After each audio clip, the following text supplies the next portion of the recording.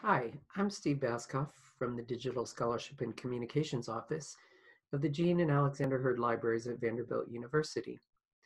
In this lesson, we're going to be talking about the GitHub work cycle. We will go all the way through an entire cycle, and during that, we will look at some of the issues that uh, come up and also talk about some issues relating to different types of files.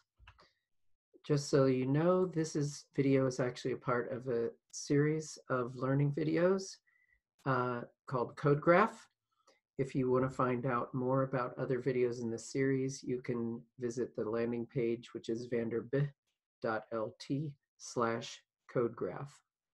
In some earlier lessons, we were focused on things that were happening in GitHub in the cloud and how that interacted with your local computer. However, now we're going to look at a little more detail about what is going on within your computer when you are editing and saving documents. So we are going to be talking about this part of the world of Git and GitHub, the things that are happening in your local file system. And in particular, we're going to look at the process right now of how files are added to your drive and then moved into the Git staging area.